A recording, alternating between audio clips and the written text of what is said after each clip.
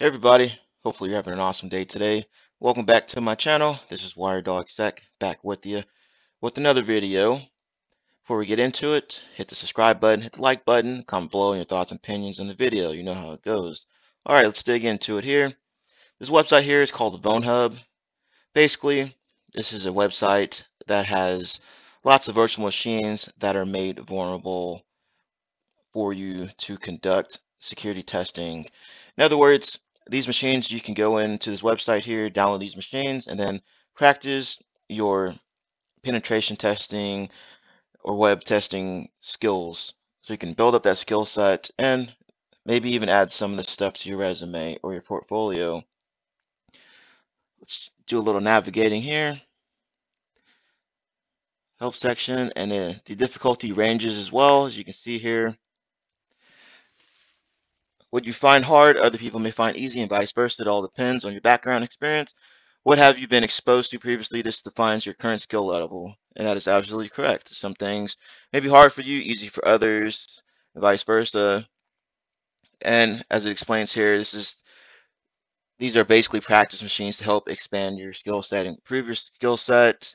It helps out with various different things in cybersecurity. As it mentions here, you need to be able to solve problems. That's what cybersecurity is about, providing value to the business. The, the business has problems. You got all these cyber criminals, bad guys trying to hack into the organization to get access to valuable data, and they need to have that issue or problem solved. So that's why they bring you guys into the environment, cybersecurity professionals, to help secure the environment to prevent such attacks from happening, or if the attacks do happen, to help contain the incident and minimize as much damage as possible.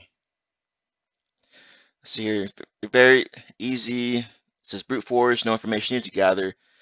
Uh, be able to guess about the target, single vector, SQL injection, other things here. Then it goes to easy, medium, hard. And I guess if you really want to test out your skill set, you can go to the very hard. Or if you just like pain, you can go to the very hard section here and try those machines out if you're new to it, I, re I recommend starting from, you know, very easy and then gradually moving up, you know, maybe do one machine a week or so. So you can get into the groove of things, make sure you get the process down, the procedures down, make sure you're actually understanding the tools and you're understanding the attacks that are that you're conducting against machines.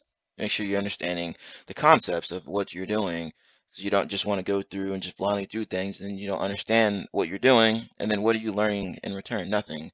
So you got to make sure you're actually understanding what you're actually doing if, if that's making any sense. Let's see here resources. Right it just goes over a few other things here. Looks like some other websites be potentially helpful to you guys. Metasploit Unleashed, Open Security Training, Suite. So some other resources you can go in here and check out that can help you along the way as you're hacking these virtual machines. As I said, this will help expand your skill set and something you can put on your resume. Say, hey, you know, I might be new to the cybersecurity industry, or I want to maybe I want to break into pen testing or something like that. Well, you know, I maybe I don't have the hands-on experience in a corporate or enterprise level environment, but I have experience from VulnHub or similar testing websites. And you can tell that to the interviewer and maybe they'll take a chance on you or they'll be more likely to take a chance on you. Say, hey, you know, this person's actually taking the initiative, going out of their way to hack these other practice machines, what have you, in order to build their skill set. I, I can see that this person really wants to get into this industry. So, hey, you know, let's maybe take a chance on this guy and let's build them up. Let's mentor them the right way and they can become something great. But if you enjoyed this video, hit that subscribe button, hit the like button, comment below on your thoughts and opinions. I'll have the link to this website posted in the description section of the video. And thank you for watching.